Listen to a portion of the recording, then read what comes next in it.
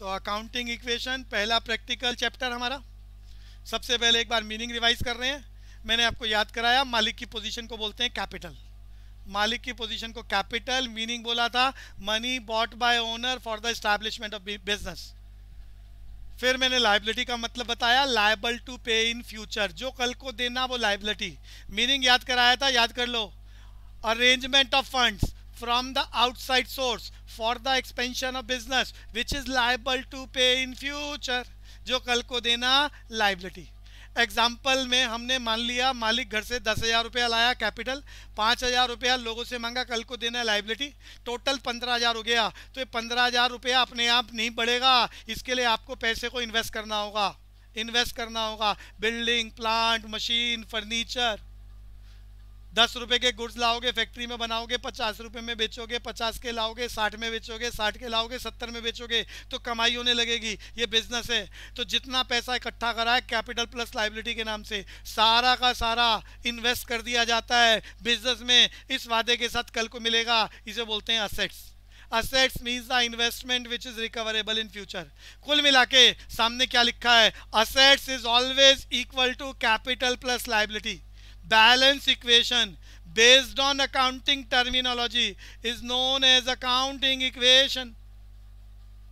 भैया, खरीदने वाला मालिक मालिक के नाम से कुछ नहीं खरीदा जाता। बेचने वाला मालिक मालिक के नाम से कुछ नहीं बेचा जाता। खरीदना बेचना फर्म के नाम से हो रहा है। फर्म को हम एंटिटी भी बोलते हैं। ये एक आर्टिफिशियल पर्सन है, जिसके नाम से हम किताबें बनाते हैं और उस फर्म के नाम से पहले रिस्पेक्ट के लिए हम क्या लगाते हैं? मेसर्स फॉर्मेट बनाना बता दिया। है रजिस्टर को मैंने आपको हॉरिजॉन्टल रखने के लिए कहा था और ये फॉर्मेट, यानी असेट्स का साइज़ बड़ा कैपिटल और लाइबिलिटी का साइज़ छोटा। और खेल शुरू करते हैं। अकाउंटिंग इक्वेशन में हर ट्रांजैक्शन कितनी बार लिखनी है? दो बार। अरे साइंटिफिक मेथड है। Every transaction of the business should be recorded twice on the basis of give and take principle तो यहाँ हर ट्रांजेक्शन को दो बार। आए बोले तो प्लस जाए बोले तो minus double entry same amount entry close question number eleven सभी बच्चे सर एक क्वेश्चन हाँ। सर एक क्वेश्चन था। गर्वित बोलो। सर जैसे हमारी अकाउंटिंग के क्वेश्चन एक पेज में नहीं आ रहे तो उसको दूसरे पेज पे कंटिन्यू हाँ, कर सकते हैं? कर सकते हैं। ये कैसे करेंगे वो मैं अभी एक बार इसी में ही बताऊँगा। एक बार हम इस क्वेश्चन को कर लें। इसी में बताऊँगा कि कंटिन्यू अगले पेज पर। अरे हर चैप्टर में जब हम प्रैक्टिकल फॉर्मेट बनाएँगे तो किसी बच्चे का क्वेश्चन एक पेज पे पूरा हुआ ही नहीं। दूसरे का हो गया। जिसका हो गया उसका तो ठीक है। जिसका नहीं हुआ काटा मत मारना। उसको कैरी फॉरवर्ड कर सकते हैं टू द नेक्स्ट पेज उसके लिए क्या लिखना है? और कैसे कैरी करना है ये एक बार सबको समझना है इसी क्वेश्चन में समझेंगे। ऐसा देखो ये गर्वित का बढ़िया क्वेश्चन है। तो ये बात ध्यान से एक बारी गर्वित दोबारा याद करा देना इस क्वेश्चन के एंड में। तो मैं उसमें बताऊँगा शब्द कैसे लिखने हैं और कैसे कैरी फॉरवर्ड होगा। ओके सर तो ये सबको ध्यान रखना है। और ऐसा हर चैप्टर में आपको डिस्कस करना है कि फॉर्मेट बना लिया पेज ही खत्म हो गया क्वेश्चन पूरा हुआ ही नहीं। तो फॉरवर्ड करते हुए अगले पेज पर ले जाते हुए हम फॉर्मेट में क्या लिखेंगे? ये थोड़ा सा आइडिया भी आपको रखना है। तो जब भी क्वेश्चन करो फेयर कॉपी में इस तरह की कोई भी बात आपको लगे कि प्रॉब्लम आ रही है, कैसे करें तो वो डिस्कस करना है। अपनी मर्ज़ी से मत कर लेना। वो चीज़ें फिक्स हैं पहले से ही। तो यहाँ, सब बच्चे, मेरे साथ साथ पहला क्वेश्चन यहाँ बैलेंस शीट भी बनानी है। अगर 10 नंबर का क्वेश्चन पेपर में आया तो 8 नंबर अकाउंटिंग इक्वेशन के दो नंबर बैलेंस शीट का।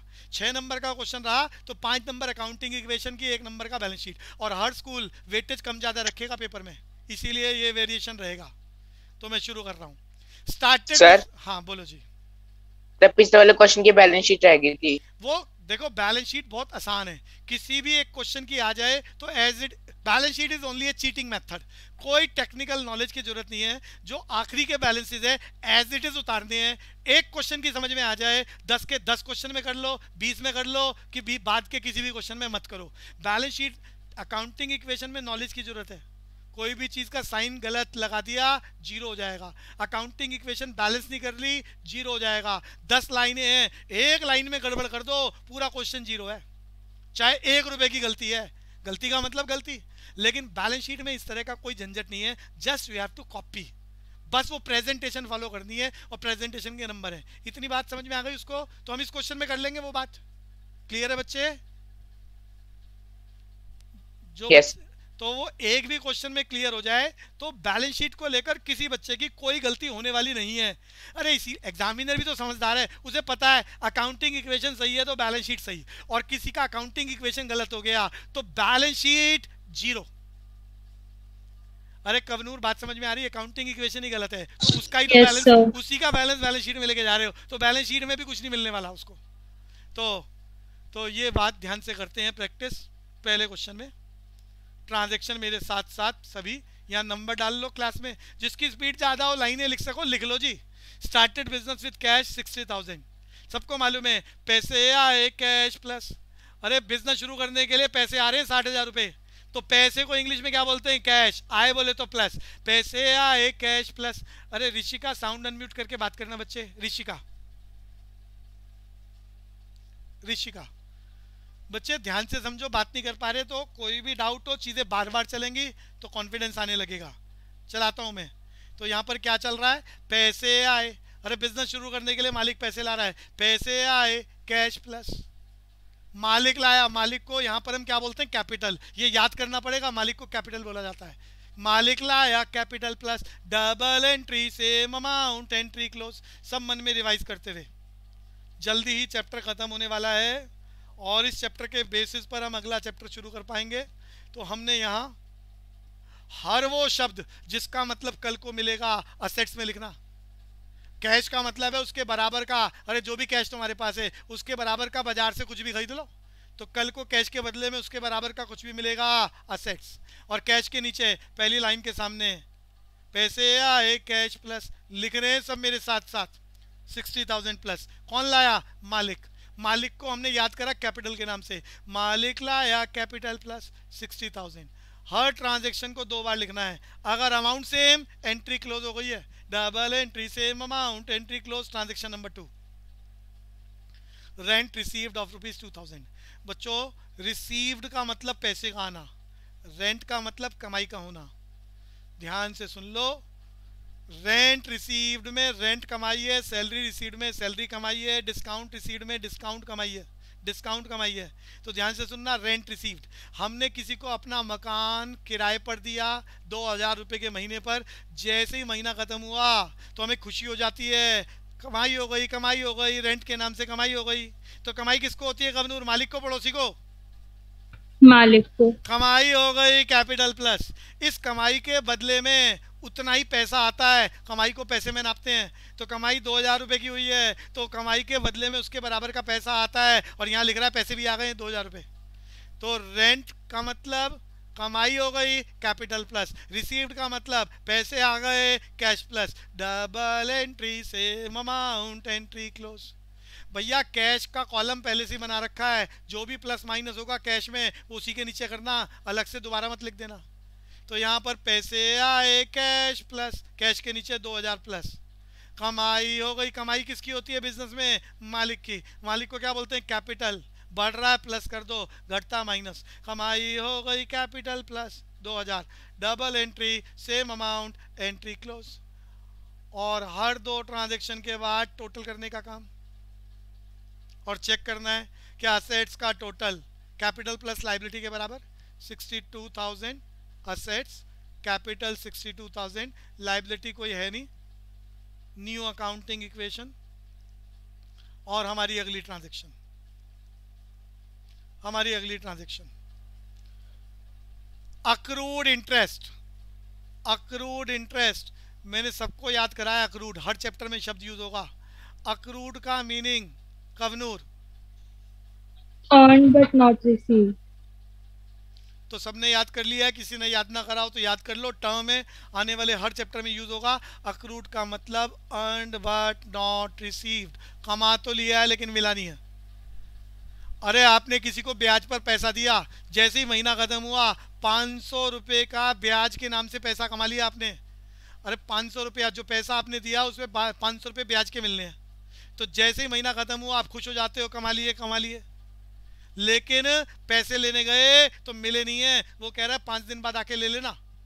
तो कमा तो लिया है मिला नहीं है। इसी को बोलते हैं अक्रूड इंटरेस्ट यानी अर्नड बट नॉट रिसीव्ड कमा तो लिया है मिला नहीं है। अरे कमाई किसकी होती है? मालिक की पड़ोसी की कवनूर।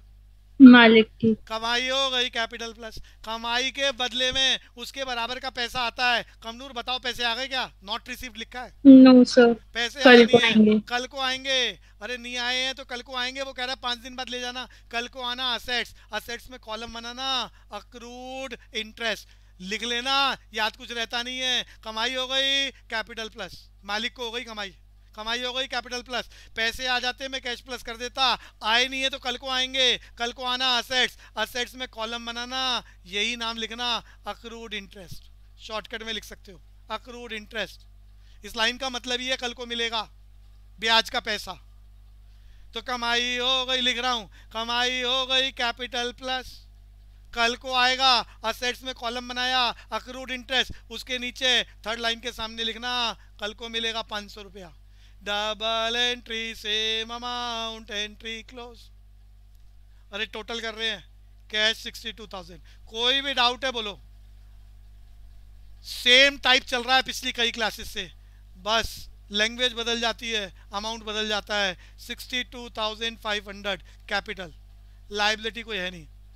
अकाउंटिंग इक्वेशन चेंज हो चुकी है, लेकिन असेट्स का टोटल कैपिटल प्लस लाइबिलिटी के बराबर. ट्रांजेक्शन नंबर फोर अरे भैया, आपकी बार क्या लिखा है? लैंग्वेज को ध्यान से देख लेना. अब की बार वो बोल रहा है commission received in advance commission received in advance अरे किसी आदमी से एडवांस में हज़ार रुपए ले आए आप एडवांस में।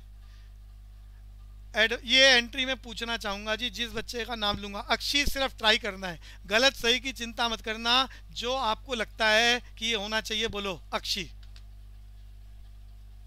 सर इसका कॉलम बनेगा असेट में।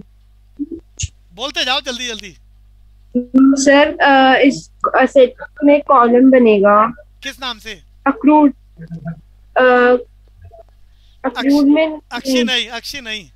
और किसी से पूछूँगा। गलत है। दिशा दिशा बोलेगी। इसीलिए प्रैक्टिस ज़रूरी है। Commission received in advance Disha. Sir debtors ना बच्चे ना। ना गलत। अभी बोलूँगा मैं रुक जाओ। अभी और किसी से ट्राई कर रहे हैं। प्रीपेड कमीशन किसने बोला है ये? ये बताओ कहाँ कहाँ बनाऊँ कॉलम असेट्स में कहाँ? असेट्स में। ए बच्चे ज्योतिका नंबर जाएँगे। अरे रुक भैया जाओ। मैं बताऊँ? अरे ना रुक अरे रुक जाओ रुक जाओ। अरे देखो क्लास में मुझे एक एक बच्चे को कंसेप्ट क्लियर कराना है। एक भी बच्चे को डाउट है तो मेरा पर्पज है कि वो बात ध्यान से सुन ले। खबरदार नंबर कम लाया। पाप लगेगा। पास फेल के लिए नहीं पढ़ाते हम आपको मालूम है जो पूरा पहले पढ़े हुए हमारे यहाँ। सिर्फ़ सौ नंबर का टारगेट। और अकाउंट्स नया सब्जेक्ट है। ट्वेल्थ में आपका कैरियर इसी के ऊपर है। तो बहुत आसान सा खेल है। बस वो कंसेप्ट आप समझ के चलो, ताकि कोई समस्या ना आए। बड़ा, भैया कॉमर्स में सबसे आसान अकाउंट्स है। मजाकिया सब्जेक्ट तो लॉजिक समझो इसका। डिस्कस कर रहा हूँ। कुछ बच्चों को बहुत अच्छे से आ गया है, लेकिन ये सबको आना चाहिए। कमीशन रिसीव्ड इन एडवांस अरे, हम अरे कमीशन रिसीव करा है किसने करा? मालिक ने। अरे एडवांस में किसी से पैसे ले आए। अरे जब एडवांस में पैसे लाते हैं तो कमनूर ये बताओ पैसे आ रहे हैं कि जा रहे हैं? अरे रिसीव्ड सर आ रहे हैं। तो ध्यान से सुनना सारे। पैसे आए कैश प्लस अरे एडवांस में हमारे पास पैसे आ रहे हैं। हम कौन है जिसकी हम किताबें लिख रहे हैं? किताबें लिख रहे हैं अकाउंटिंग इक्वेशन में। पैसे आ गए एडवांस में। तो पैसे आ गए। कंफर्म है रिसीव्ड पैसे आए कैश प्लस लेकिन खबरदार असेट्स में कोई कॉलम बना लिया। एडवांस में पैसे लाए हो। जिससे भी एडवांस में लाए हो। अरे, किसी के यहाँ नौकरी कर रहे हो एग्ज़ाम्पल चेंज कर रहा हूँ। आपको पैसे की ज़रूरत पड़ी, आपने मालिक को कहा, भैया, दस हज़ार रुपये दे दो। एडवांस में ज़रूरत है। कल को हम लौटा देंगे। या तो पैसे दे देंगे, या अगले महीने की तनख्वाह में से काट देना। कल को इसके बराबर का काम करके देंगे, या कल को तुम्हारे पैसे वापस कर देंगे। तो एडवांस में पैसा ला रहे हो। जैसे एडवांस में पैसा लाते हो कैश बढ़ जाता है। लेकिन भैया ये कल को मिलेगा नहीं है कल को देना है। या तो इसके बराबर का काम करके दोगे या ये पैसे देने पड़ेंगे। और जो कल को देना है वो लाइबिलिटी होती है। खबरदार असेट्स लिख के दो। पूरा क्वेश्चन सिर्फ़ इस एक शब्द से ज़ीरो हो सकता है। दिव्यांश आपको ये बात समझ में आ गई? दिव्यांश सर तो बस यही प्रैक्टिस का काम बच्चों। और ये बातें आने वाले एक चैप्टर में कंसेप्ट क्लियर हो जाए तो अगला चैप्टर फास्ट चलेगा। क्योंकि टर्म्स आपको क्लियर हो जाएँगी। तो कमीशन हम एडवांस में लेके आ रहे हैं। अरे हम किसी आदमी से हर महीने गुड्स खरीदते हैं और उसके बदले में हमें कमीशन मिलता है। हमने अभी इस महीने कोई गुड्स नहीं खरीदा है। पैसे की ज़रूरत पड़ी। तो हमने उसे कहा, भैया, हज़ार रुपये दे दे। अगले महीने कमीशन के नाम से जो पैसे हम कमाएँगे, उसमें से काट लेना। तो या तो हमने कल को सामान इतना खरीदना पड़ेगा कि हज़ार रुपए की कमीशन हो जाए। अरे कल को उतना काम करके देना पड़ेगा नहीं तो उसके पैसे देने पड़ेंगे जो हम एडवांस में लेके आए हैं। सबको क्लियर कवनूर?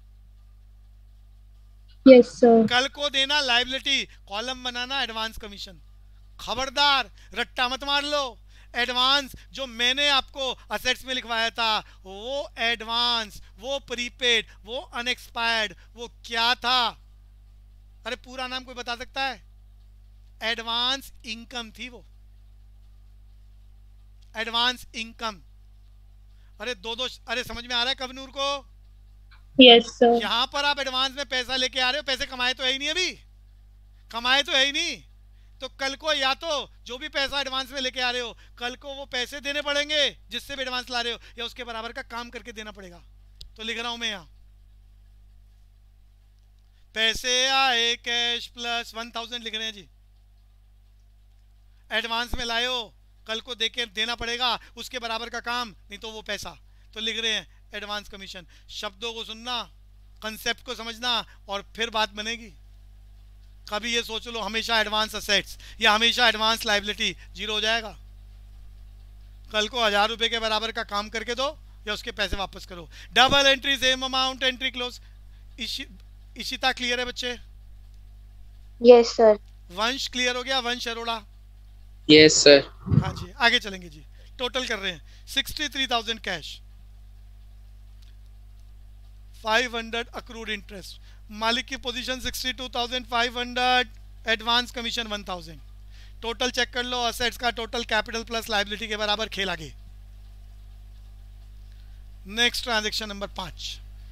अमाउंट विदड्रॉन अच्छा मैं यहाँ पर मान लेता हूँ, मेरा पेज खत्म हो गया और एक ही एंट्री बची है। एक बच्चा कह रहा था अगर पेज खत्म हो जाए तो क्या करना? क्या करें भैया? तो सुन लो। मान लो ये पेज खत्म हो गया। पेज खत्म हो गया तो यहाँ पर आप एंट्री क्लोज करने का निशान मत लगाना। अरे गर्वित सुन रहे हो बात? गर्वित पूछ रहा था बाकी बच्चे भी सुन लो। यस सर अगर क्वेश्चन पेंडिंग है अगर क्वेश्चन खत्म हो गया तो सबको मालूम है मैं ऐसे एंट्री क्लोज ये निशान लगाता हूँ। इसका मतलब है ये हमने जो फॉर्मेट बनाया है इसको हमने क्लोज कर दिया है। ये फॉर्मेट क्लोज कर दिया है। अगर क्वेश्चन खत्म हो गया है लेकिन क्वेश्चन खत्म नहीं हुआ तो ये क्वेश्चन ऐसे ही छोड़ना पड़ेगा। क्लोजिंग की लाइन नहीं लगा सकते। गर्वित इतनी बात याद हो गई? यस सर और उसके आगे जो ये अमाउंट लिखा है ना sixty three thousand plus five hundred is equal to sixty two thousand five hundred plus one thousand ये जो भी लिखा हुआ है इसके सामने आपने लिखना है। ब्रैकेट में लिख दो चाहे मैं ब्लैक कलर से लिख रहा हूँ अलग से। क्या लिखोगे? बैलेंस कैरी फॉरवर्ड कि आप ये लाइन का जो असेट्स है लाइबिलिटी है कैपिटल है इसको कैरी फॉरवर्ड अगले पेज पे लेके जा रहे हो। गर्वित ये बात समझ में आ गई? सबको समझना है ये बात? यस सर आपने स्टेटमेंट क्लोज नहीं करनी मतलब क्वेश्चन स्टिल पेंडिंग ये टीचर को देखते ही समझ में आ जाएगा कि क्लोज नहीं हुआ क्वेश्चन बचा हुआ है। चाहे कॉपी हो चाहे आपके एग्ज़ाम की शीट हो और वहाँ लिख भी रहे हो बैलेंस कैरी अरे पूरा नहीं लिखना कैरी फॉरवर्ड हमेशा शॉर्टकट लिखते हैं सी ओब्लिक एफ़ गर्वित ये याद रहेगा C oblique F balance carry forward बोलेंगे कैरी फॉरवर्ड लिखेंगे सी एफ़ चलूँ आगे? अब अगले पेज पर ऐसी फॉर्मेट बना देना। अरे गर्वित Yes, फॉर्मेट बना लोगे अगले पेज पर? फॉर्मेट बनाने Yes, के बाद आप ये सारी लाइन एज इट इज़ उतार लेना। अरे मैं उतार नहीं रहा आपके लिए दिखा रहा हूँ। ये लाइन एज इट इज़ उतार लेना। और उतारने के बाद इसके सामने इसके सामने अगले पेज पर लिखना कि ये बैलेंस कैरी अरे कैरी फॉरवर्ड यहाँ लिखना ब्रॉड फॉरवर्ड क्या लिखना बच्चे? ब्रॉड फॉरवर्ड पिछले पेज से लेके आए हैं हम ये। अरे पेपरों में जनरली जब कोई पेज आप खत्म हो जाता है तो पीटीओ लिखते होगे ना? कवनू पीटीओ yes sir. तो ऐसे ही यहाँ पर हम हमारा क्वेश्चन खत्म नहीं हुआ। तो वो जहाँ पेज पे खत्म हो रहा है वहाँ लिख रहे हैं बैलेंस कैरी फॉरवर्ड और अगले पेज पर वो बैलेंस सारे दोबारा उतार दिए कैश के अक्रूड इंटरेस्ट के कैपिटल के लाइबिलिटी के टेबल बना के। और उसके सामने लिख दिया ये बैलेंस ब्रॉड फॉरवर्ड अरे बी एफ़ लिखना है शॉर्टकट में B oblique F brought forward कि पिछले पेज से आ रहा है अमाउंट क्लियर हो गया? सर आपको? हाँ। सर पूरी टेबल बनानी पड़ेगी वापस। अब बनानी तो पड़ेगी भाई। इसीलिए ऐसा काम जब भी एक पेज पर क्वेश्चन करो तो वो एक ही क्वेश्चन करो। आखिरी में चार लाइनें बच जाएँ, छह लाइनें बच जाएँ। दूसरा क्वेश्चन शुरू मत करना। ना एग्ज़ाम में और ना ही फेयर कॉपीज में और ना ही यहाँ। चार लाइनें बचती हैं, छह लाइनें बचती हैं, बचने दो। रफ कैलकुलेशन करो, जो मर्ज़ी करो। अगला क्वेश्चन वहाँ शुरू मत करना, नहीं तो ये गड़बड़ झाला होगा। क्लियर है, क्रिश? जी भैया। ये मतलब टेक्निकल थोड़ा इस तरह से काम करना है। स्पीड प्रेजेंटेशन और झंझट ना रहे फास्ट चले। क्लियर है बच्चों? दीप्ति क्लियर है? एक ही बारी में फॉर्मेट बन गया उसी में क्वेश्चन क्लोज होना चाहिए। उस फॉर्मेट में चार लाइनें खाली रह जाएँ चलेगा। लेकिन चार लाइनें पेंडिंग रह गई पाँच मिनट फालतू लग जाएँगे। चेक क्लियर है बच्चे? यस लेकिन कैरी फॉरवर्ड करना हो तो बता दिया। तो बैलेंस ब्रॉड फॉरवर्ड और फिर चला देना। मैं चला रहा हूँ अगली लाइन अमाउंट विदड्रॉ अरे क्लियर हो गया है तो ये मिटा दूँ? ये बात समझ में आ गई है तो? यस तो मैं ऊपर वाली लाइन में ही क्लोज कर रहा हूँ उसको। जल्दी से एक लाइन और करते हैं और ये क्वेश्चन क्लोज फिफ्थ ट्रांजेक्शन बच्चों. अमाउंट विदड्रॉ फाइव थाउज़ेंड अरे मालिक घर पे पैसा लेके जाता है तो मैंने आधा नंबर के लिए टर्म याद कराई थी ड्राइंग बोलते हैं। When the owner withdraw money it is known as drawing for person और इसकी एंट्री अरे मालिक दुकान से पाँच हज़ार रुपए लेके भाग गया तो क्या ले गया? पैसे। पैसे गए कैश माइनस मालिक ले गया capital double entry same amount entry close सभी कर लो मन में रिवाइज करते हुए। पैसे गए कैश माइनस मालिक ले गया capital minus double entry same amount entry close करो जी टोटल और ये आखिरी लाइन है तो इसके बाद ये स्टेटमेंट क्लोज की लाइन कंपलसरी है जो चीज़ें छोड़ोगे नंबर जाएँगे प्रेजेंटेशन के। कितना बचा जी?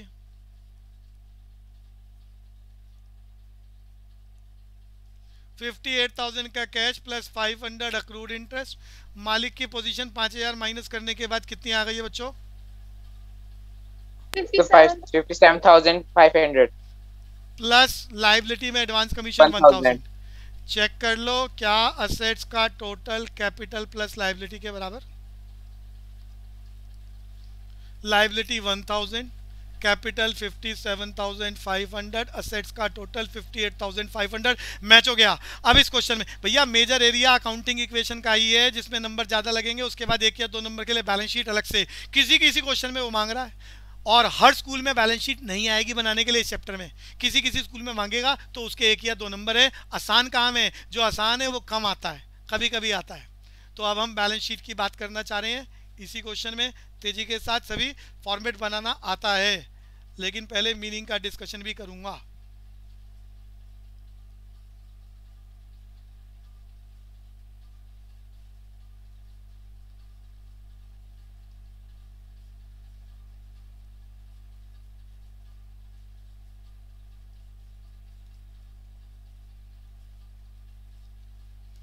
तो बैलेंस शीट बनाना चाह रहे हैं जी? लिख लेते हैं। बैलेंस शीट का तरीका मैंने बता दिया था, पहले मीनिंग की बात करेंगे। बैलेंस शीट साल के आखिरी में बनती है। इसमें क्या दिखाया जाता है?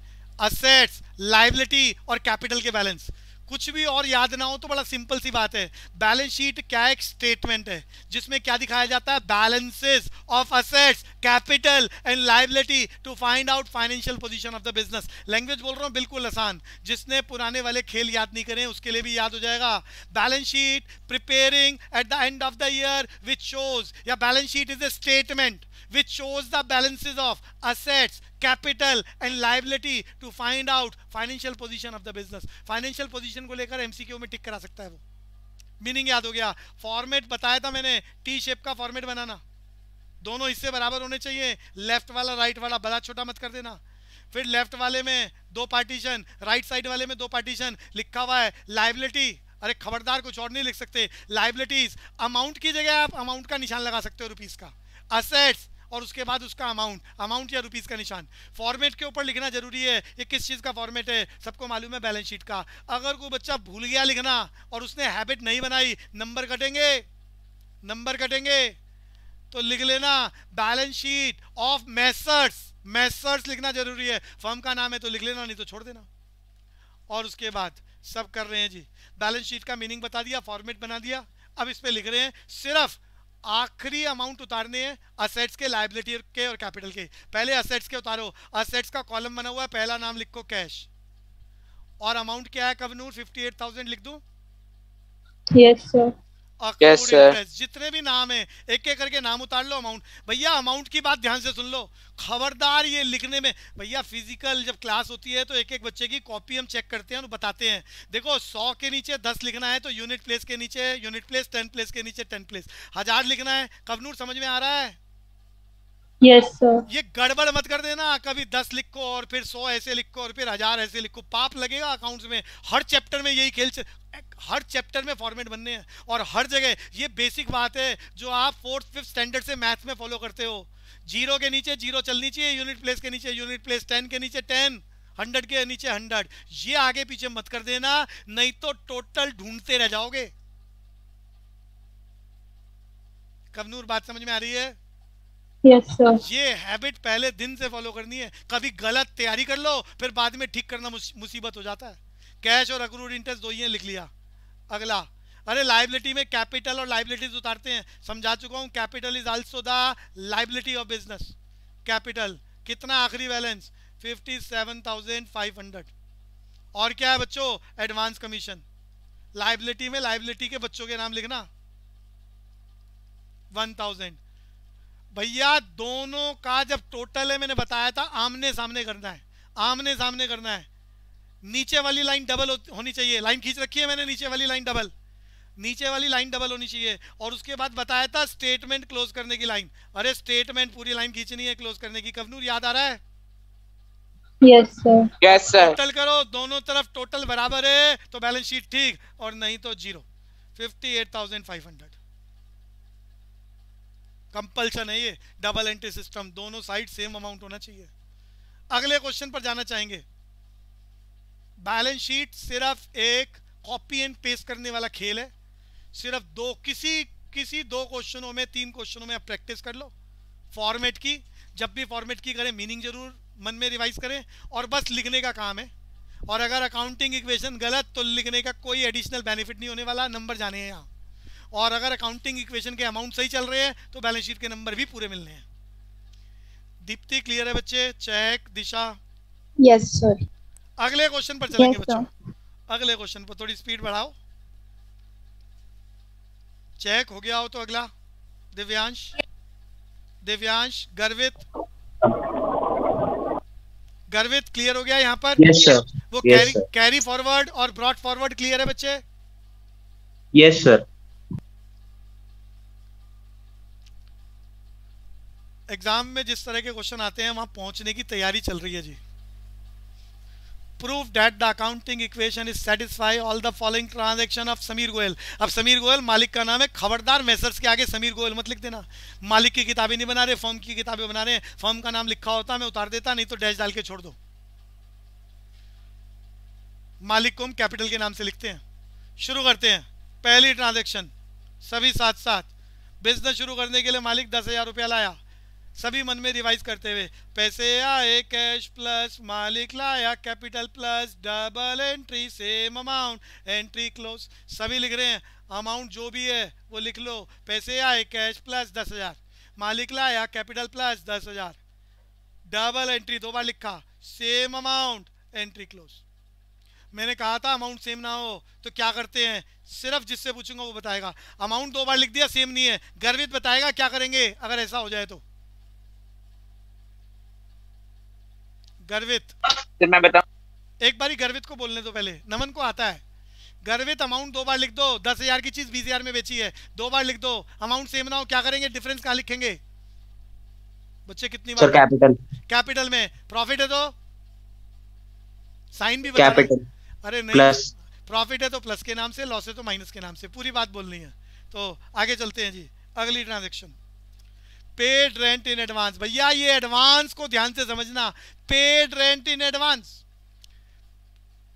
मेरा क्वेश्चन भूमिका से भूमिका क्लास में है? भूमिका। वंश। वंश बच्चे। वंश अरोड़ा। Yes, बच्चे पेड का मतलब पैसे का जाना। पेड का मतलब पैसे का जाना। पैसे का जाना कैश माइनस अरे पैसे जा रहे हैं कैश माइनस होगा। अब ये बता दो बाकी हिस्सा कहाँ लिखेंगे? वंश अरोड़ा। पैसे गए कैश माइनस आगे बता दो। सर एसेट्स में एडवांस रेंट के नाम से Yes. 300 प्लस देखो पिछली बार एडवांस को मैंने लाइबिलिटी में लिखाया था मीनिंग समझ लो रट्टा मत मार लेना। यहाँ आपने किसी का अरे पेड रेंट इन एडवांस कोई मकान किराए पर ले रहे हो मकान पसंद आ गया।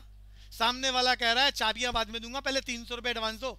जैसे ही आपने तीन सौ रुपये एडवांस के दिए पैसे गए कैश माइनस पैसे चलेगा उसके पास लेकिन वो पैसे का मालिक नहीं बना है। जब तक कि वो तीन सौ रुपए के बराबर का रहने का मकान नहीं देगा या तो कल को रहने का मकान दे तीन सौ रुपए के बराबर का नहीं तो पैसे वापस कर तो कल को मिलेगा तीन सौ रुपए के बराबर का मकान या उसके बराबर के पैसे तो कल को मिलेगा असेट्स नाम एडवांस रेंट कवनूर क्लियर है? यस सर तो देखो एडवांस यहाँ पर असेट्स में पिछली बार लाइबिलिटी में आया था तो यहाँ कॉलम बना लिया एडवांस रेंट बच्चों खाली रेंट शब्द होता। तो रिसीव्ड के मामले में वो कमाई है। ध्यान से सुन लो खाली रेंट शब्द है। तो रेंट रिसीव्ड है तो रेंट का मतलब कमाई है। और रेंट पेड है तो रेंट का मतलब खर्चा है। और खर्चा या कमाई सिर्फ़ कैपिटल में प्लस माइनस होते हैं। खबरदार असेट्स और लाइबिलिटी में लिख दिया कमज़ोर समझ में आ रहा है? खाली रेंट शब्द। Yes, ना असेट्स में आ सकता ना लाइबिलिटी में। क्योंकि या तो ये खर्चा है अगर इसके बदले में पैसे जा रहे हैं या ये कमाई है इसके बदले में पैसे आ रहे हैं और खर्चा या कमाई सिर्फ़ कैपिटल में आता है कमाई के नाम से प्लस खर्चे के नाम से माइनस। सिर्फ़ एडवांस लग जाए आउटस्टैंडिंग लग जाए तो ये असेट्स लाइबिलिटी में आ सकते हैं क्योंकि उनका मीनिंग है कल को देना या कल को लेना। कमनूर क्लियर है? यस सर तो पैसे गए तीन सौ रुपये दे रहे हो बच्चों एडवांस में। पैसे गए कैश माइनस एडवांस में दिए हैं।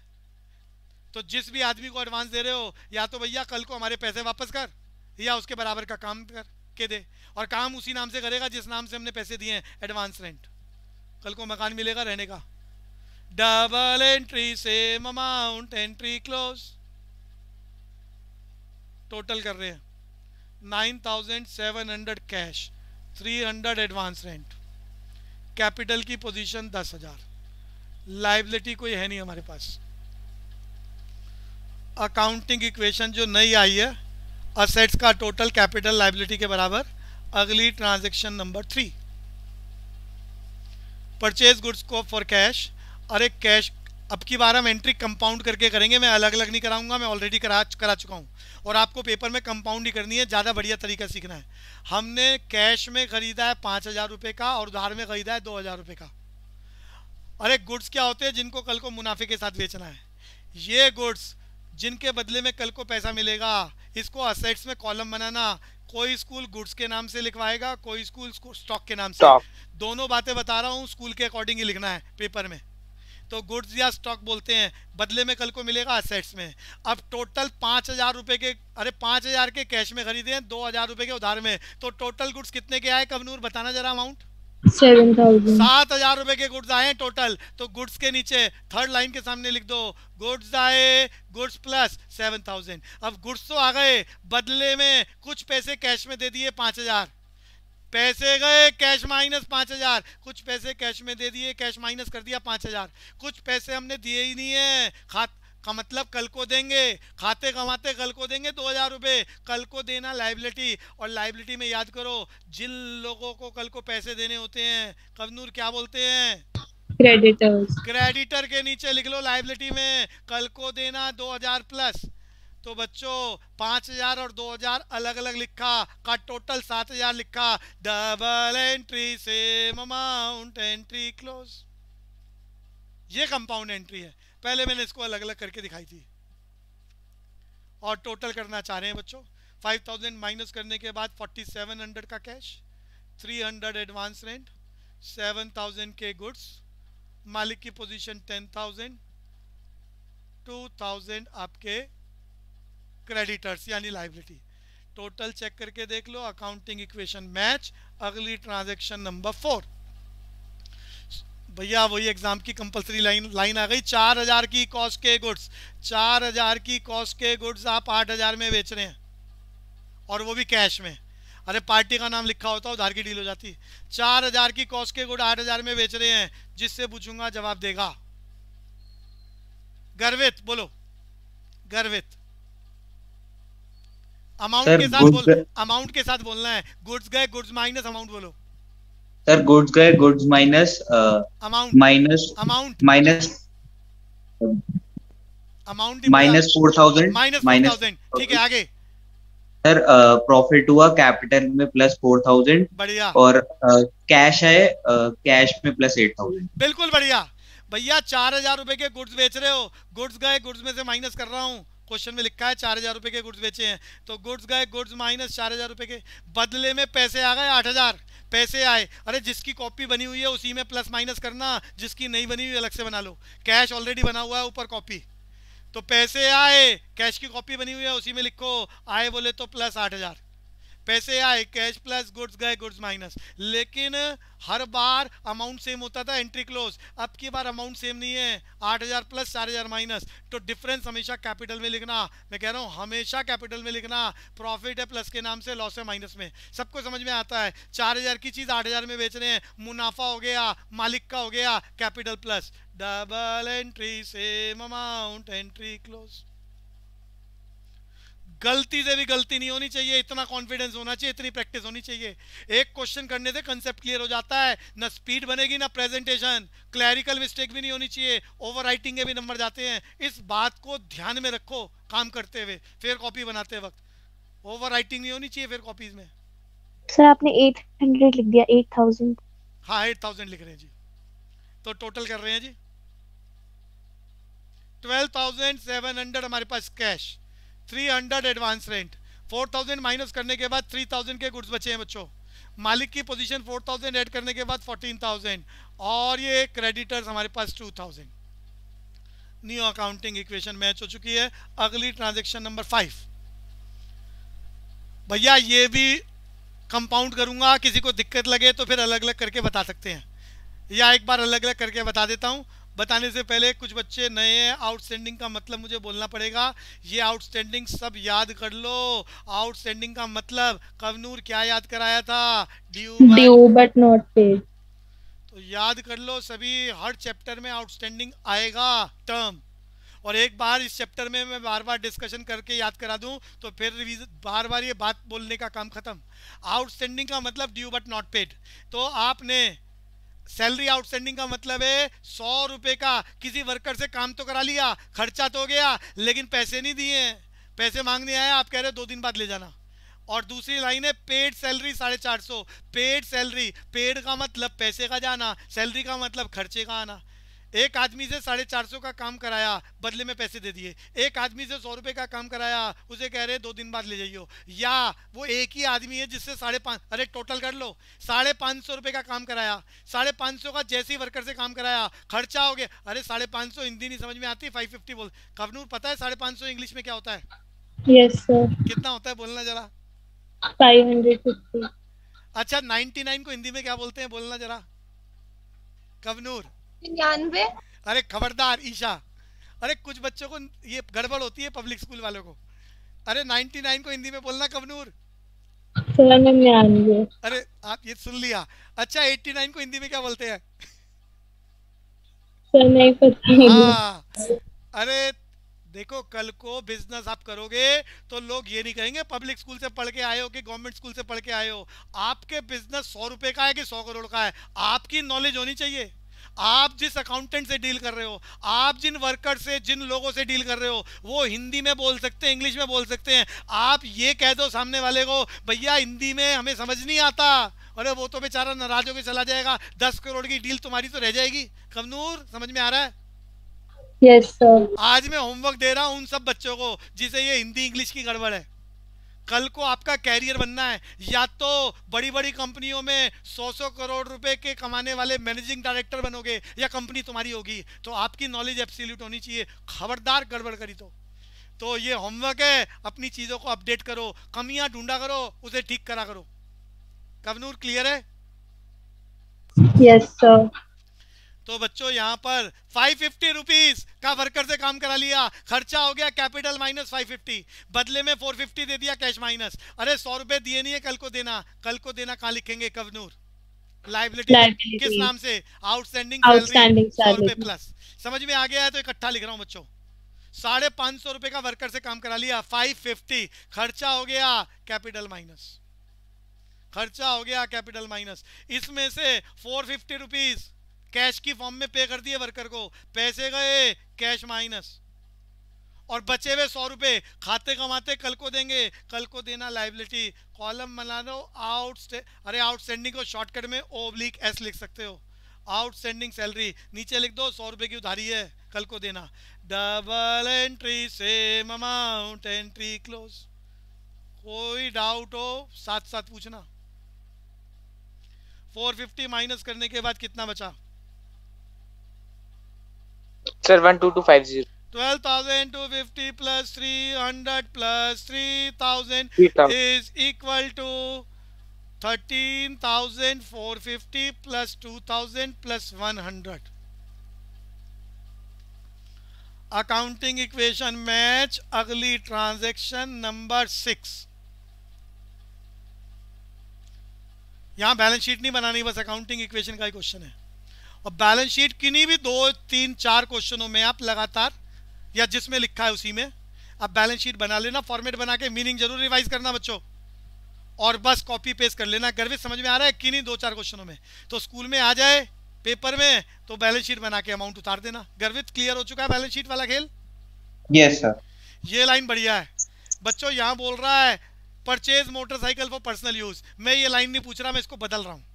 मैं इसको बाद में पूछूँगा। ये पर्सनल यूज़ में हटा रहा हूँ। अरे खबरदार मान लो ये पर्सनल यूज़ यहाँ लिखा ही नहीं है।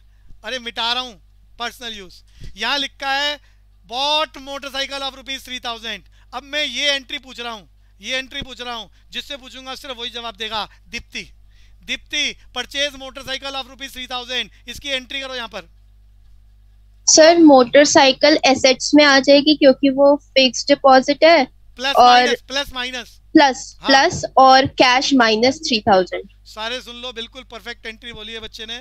Bought motorcycle of rupee three thousand तो ये बिज़नेस में आप मोटरसाइकिल खरीद लाए वर्कर को कहीं भी भेजना है आपने किसी काम से खुद मालिक ने जाना है पार्टियों से मिलना है पैसे लाने हैं पैसे दे के आने हैं किसी डेटर को क्रेडिटर को तो दुकान के लिए मोटरसाइकिल खरीदी है। दुकान की किताबों में लिखेंगे it is a kind of fix assets एक बार खरीद लो कई साल की छुट्टी। इसी नाम से लिखा जाएगा। तो ये हमारी इन्वेस्टमेंट है दुकान में। तो असेट्स में कॉलम बनाएँगे मोटरसाइकिल का। मोटरसाइकिल आई मोटरसाइकिल प्लस पैसे गए cash minus double entry same amount entry close Hema समझ में आ गया? हेमा हंशिका। Yes, yeah. अब पर्सनल यूज़ नहीं लिखा, तब ऐसा होगा। अब मैंने बदल दी लाइन अब मैंने पर्सनल यूज़ लिख दिया। पेपर में देख लेना, कभी रट्टा मार लो। पर्सनल यूज़ लिखा है। घर में मोटरसाइकिल खरीद रहे हो। भैया, तुम घर में मोटरसाइकिल खरीदो फर्नीचर खरीदो, गोलगप्पे खरीदो, कि पैसे सड़क पे फेंक दो। खबरदार घर की बातें दुकान में लिखी दो। तो घर में क्या कर रहे हो, ये नहीं लिखेंगे। लेकिन जो ये घर में पैसे उसने मोटरसाइकिल पे लगाए हैं, ये कहाँ से गए होंगे? दुकान से। तो हम ये लिखेंगे दुकान की किताब में कि मालिक दुकान से पैसे लेके भाग गया। घर पे, घर जाके पैसे का क्या कर रहा है? इससे हमें कोई मतलब नहीं है। तो हम किताबों में लिखेंगे, पैसे गए कैश माइनस मालिक ले गया capital minus double entry same amount entry close कर लो बच्चों ये एंट्री पर्सनल यूज़ वाली एंट्री कर लो। बट पर्सनल यूज़ ना होता तो बता चुका हूँ, क्या करना है? पैसे गए कैश माइनस मालिक ले गया capital minus double entry same amount entry close और इसके बाद कोई और ट्रांजेक्शन नहीं है तो पूरी स्टेटमेंट क्लोज करने की लाइन लाइन ज़रूर है ये लाइन ये लाइनें बहुत इंपॉर्टेंट है बच्चों. ये लाइन ना डली हो का मतलब क्वेश्चन क्लोज ही नहीं हुआ है. यानी क्वेश्चन स्टिल पेंडिंग तो 3000 माइनस करके कितना आ गया? 9250 एडवांस रेंट हमारे पास 300 प्लस 3000 अरे किसी की फेयर कॉपी में कटिंग हो जाए तो वो फ्लूड आता है ना कबनूर यस ओवर राइटिंग नहीं कर सकते आप फ्लूट लगा के उसे ठीक करोगे और हैबिट पेपर में भी यूज़ कर सकते हो। तो उससे क्या है नंबर आपके कटने से बच जाएँगे।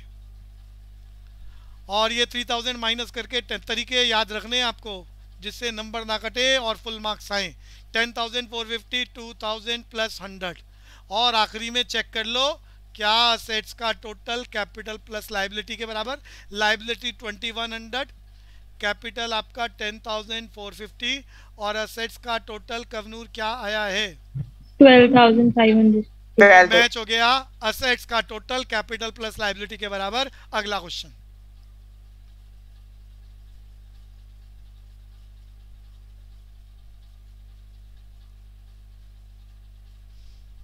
थोड़ा सा थ्योरी का डिस्कशन बढ़ाना चाह रहा हूँ आगे जाने से पहले।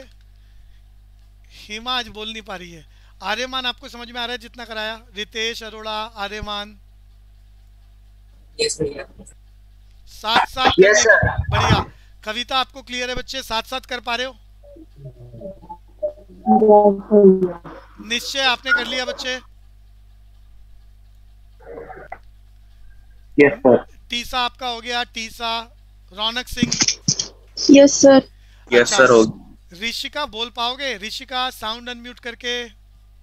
ऋषिका। यस सर बच्चे कुछ आइडिया लगा अकाउंट्स का? क्या बोल रहा हूँ मैं? यस सर मैंने तो पहले से हाँ। ज्वाइन कर रखी थी क्लास अच्छा तो ऋषिका पहले से ही कर रहा है बच्चा? हाँ जी सर अच्छा अच्छा अच्छा ठीक है। अरे ऋषिका भी क्लास में ना? दो दो हैं। तो दूसरा अरे दूसरी वाली। नाम जो भी बच्चा नाम पूरा लिखा करो जी ताकि बोला जा सके कि किससे बात करनी है। सोहम आपको क्लियर है?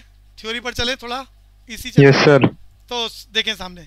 असेट्स का मीनिंग याद हो चुका है। Investment which is recoverable in future अब सुने असेट्स इस दुनिया में दो प्रकार अरे दो टाइप बाद में डिस्कशन करूँगा इसके टाइप और भी ज़्यादा। अभी मैं दो मेजर टाइप का डिस्कशन कर रहा हूँ assets further classified in two parts पीछे भी डिस्कशन करा था। एक को बोलते हैं नॉन करंट असेट्स और दूसरे को बोलते हैं करंट असेट्स कवनूर नज़र आ रहा है सामने? करंट असेट्स सर तो पहला टाइप है नॉन करंट असेट्स भैया नॉन करंट असेट्स का एक और नाम है फिक्स असेट्स वो नाम बदल दे घबराना मत एक ही बात है। असेट्स का पहला टाइप है नॉन करंट असेट्स या फिक्स असेट्स और दूसरा टाइप है करंट असेट्स ये क्लियर हो गया? कवनूर पहले नाम याद कर लो. यस सर असेट्स के दो टाइप है करंट असेट्स और दूसरा क्या है? Non current assets non current assets का दूसरा नाम बताना कवनूर? फिक्स्ड अब दोनों का मतलब समझ लो. हर वो इन्वेस्टमेंट जिसकी वैल्यू जिसकी लाइफ एक साल से ज़्यादा है वो है फिक्स असेट्स या नॉन करंट असेट्स और जो एक साल के अंदर चेंज हो जाता है, उसे बोलते हैं करंट असेट्स आप नीचे एग्जांपल देखो करंट असेट्स के कैश अरे कैश आपकी दुकान में रोज बदलता है. कम हो जाएगा, ज़्यादा हो जाएगा. अरे बेच दिया कैश बढ़ रहा है. अरे बेचने पर कैश आता है. और खरीद लिया, खरीदने में पेमेंट हो रही है कैश कम हो रहा है. रोज खरीद रहे हो, बेच रहे हो, खरीद रहे हो, बेच रहे हो, रोज कैश की पोजीशन कम ज़्यादा हो रही है. साल के एंड का इंतज़ार नहीं करना रोज ही चेंज हो रहा है। जो within a period of year one year change हो जाए करंट असेट्स डेटर्स जिनको उधार में बेच रहे हो अरे किसी को एक दिन की उधार है किसी को दस दिन की उधार है। नए गुड्स ले जाएगा पुराने पैसे दे जाएगा। हर हफ़्ते बाद डेटर्स का अमाउंट चेंज हो रहा है। कवनूर को बात समझ में आ रहा है? करंट असेट्स क्यों बोल रहे हैं? यस सर अब बात करते हैं इसका दूसरा वाला। नॉन करंट असेट्स या फिक्स असेट्स अभी बताया अरे इसके मैंने टेस्ट के क्वेश्चन बना रखे हैं एमसीक्यू के। तो खाली असेट्स नहीं है चीज़ों को आगे बढ़ाएँगे और उसको टेस्ट में यूज़ करेंगे। फिक्स असेट्स या नॉन करंट असेट्स वो नाम बदल सकता है। का मतलब ऐसी इन्वेस्टमेंट जिसकी लाइफ एक साल से ज़्यादा जैसे बिल्डिंग प्लांट मशीन फर्नीचर इतनी बात कवनूर को समझ में आ गई? यस फिक्स असेट्स के दो टाइप सामने चल रहे हैं। एक टेंजिबल असेट्स दूसरा इनटेंजिबल असेट्स अरे दोनों के एग्ज़ाम्पल याद करने एमसीक्यू में यूज़ करेगा। ऐसी फिक्स असेट्स जिसकी फ़िज़िकल शेप होती है जिसकी फ़िज़िकल शेप होती है जैसे बिल्डिंग प्लांट मशीन फर्नीचर एक साल से ज़्यादा लाइफ है फ़िज़िकल शेप है टेंजिबल असेट्स कवनूर समझ में आ गया? यस सर कवनूर नाम सुना है? गुडविल यस सर मैं एक शब्द बोल रहा हूँ। इंटरलेक्चुअल प्रॉपर्टी राइट अरे क्रिश कहाँ है? क्रिश जी भैया। नाम सुना है? इंटरलेक्चुअल प्रॉपर्टी राइट पता हो तो नहीं। बताना नहीं तो मना करना। नहीं भैया। तो ध्यान से सुनो सामने एग्ज़ाम्पल चलाने वाला हूँ। पेपर वाला है नाम यूज़ कर अरे जानबूझ के ऐसी शब्दावली वोकेबलरीज के लिए यूज़ करेगा कि बच्चे को नहीं पता तो एमसीक्यू चला जाए। इन इंटरलेक्चुअल प्रॉपर्टी राइट्स के एग्ज़ाम्पल याद कर लो। हिंदी तो आपको आती नहीं है। अरे हिंदी में अगर आपकी थ्योरी होती तो मैं इसको हिंदी में बोलता। अरे एक बार बोल रहा हूँ देखते हैं किसको याद रहेगा। इंटेलेक्चुअल प्रॉपर्टी राइट का हिंदी वर्जन होता है बौद्धिक संपदा अधिकार। क्रिश बोल सकते हो? बौद्धिक संपदा अधिकार। भैया बौद्धिक संपदा अधिकार। बुद्धि बुद्धि से शब्द बना है बौद्धिक संपदा अधिकार। बोलना दोबारा। बौद्धिक संपदायिक अधिकार। संप हाँ ठीक है। बट ये आपकी नॉलेज के लिए बोला था मैंने। फ़िलहाल मैं आ रहा हूँ। इंटरलेक्चुअल प्रॉपर्टी राइट्स के एग्ज़ाम्पल हैं। गुडविल अरे नीचे लिखा हुआ है गुडविल ट्रेडमार्क मैं इसके अलावा कुछ और लिख देता हूँ। अरे उसके अलावा कुछ और लिख देता हूँ। पेटेंट्स मुझे समझाने हैं समझाने हैं। कॉपीराइट अरे नाम सुना है कॉपीराइट का? कॉपीराइट पेटेंट्स गुडविल तो सुनो ध्यान से। दुकान अरे हलवाई की दुकान जो आपने सुनी है मैं वही फ़ेमस एग्जांपल लेना चाह रहा हूँ। बीकानेर वाला दुकान का नाम पता है? क्रिश ये सारे एग्ज़ाम्पल इंटेलेक्चुअल प्रॉपर्टी राइट हैं। वो पेपर में इंटेलेक्चुअल प्रॉपर्टी राइट लिख दे या ये लिख दे? पूछेगा टेंजिबल कौन सा इंटेंजिबल कौन सा टिक करना होगा ऑड मैन आउट होगा। आसान सा एरिया बट नॉलेज होनी चाहिए। तो मैं आपको यहाँ बीकानेर वाले की बात कर रहा हूँ। अरे बीकानेर वाले का एक विशेष प्रकार का निशान होता है। वो सारे मिठाई के डब्बों पर वही निशान चलता है। जितना भी उस अरे बीकानेर की पूरे हिंदुस्तान में दुनिया भर की दुकानें हैं दिल्ली में मुंबई में कैलकाटा में मद्रास में और दिल्ली में एक नहीं अलग अलग इलाका करोल बाग में अलग है प्रीतमपुरा में अलग है रजौरी में अलग है। तो वो सारी मिठाई को मिठाइयों के डब्बे पर वो विशेष प्रकार का निशान है वो उसके अलावा कोई और नहीं लगा सकता। अरे याद आ रहा है आपको ऐसे ऐसे निशान मिठाई के डब्बों पे कुछ चल रहा होता है।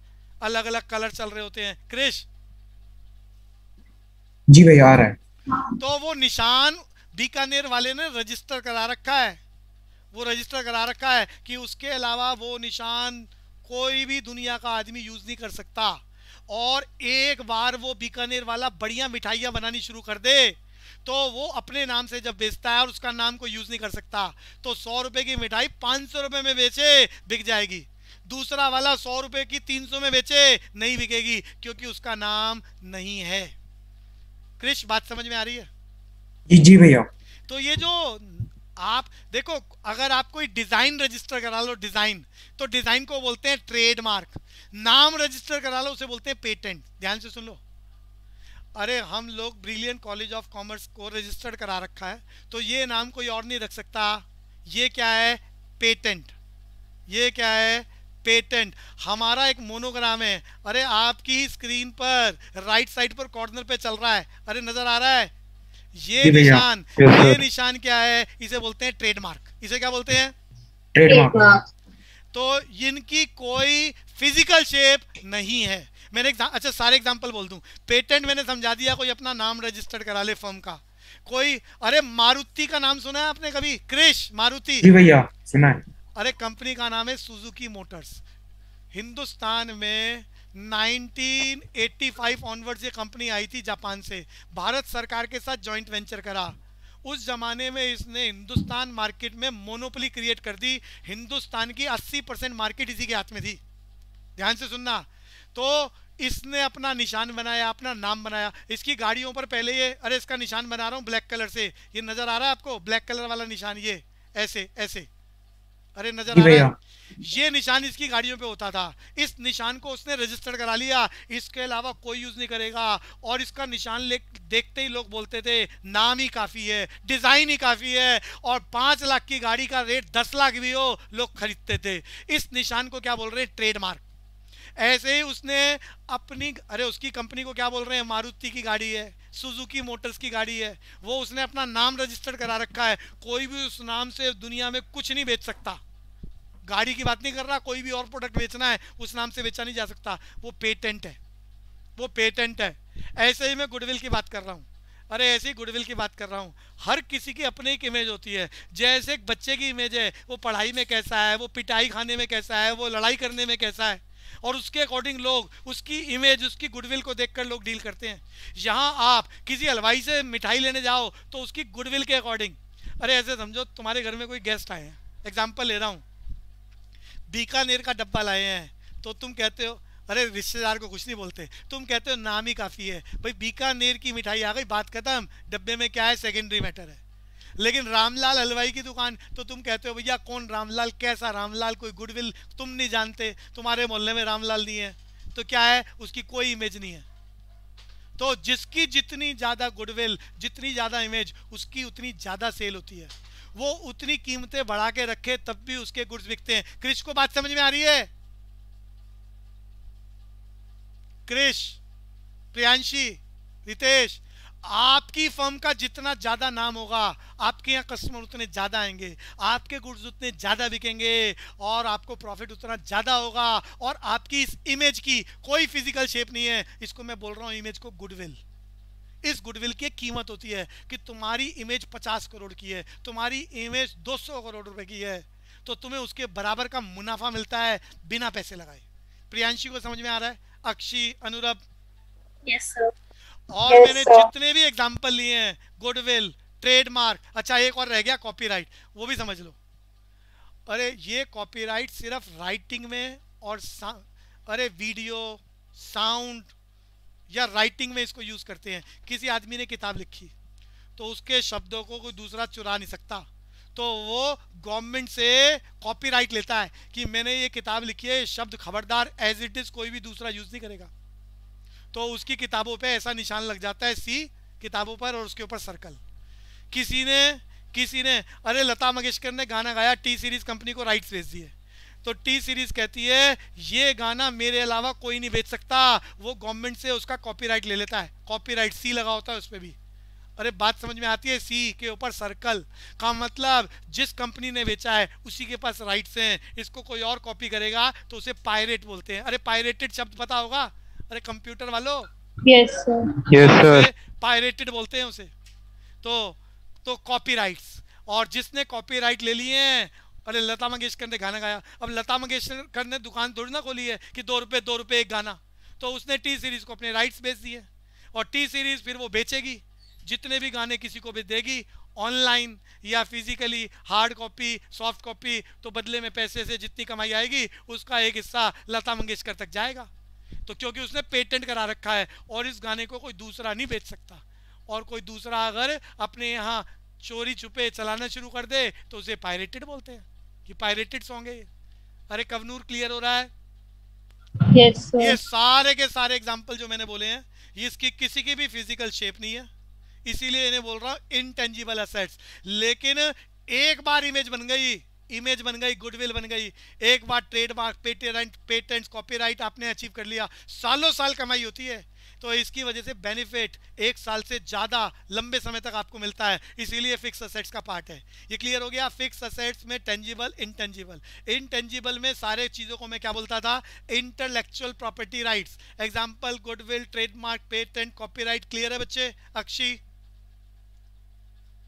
सर बच्चों समय का पता ही नहीं चलता क्लास में। तो अभी समय की लिमिटेशन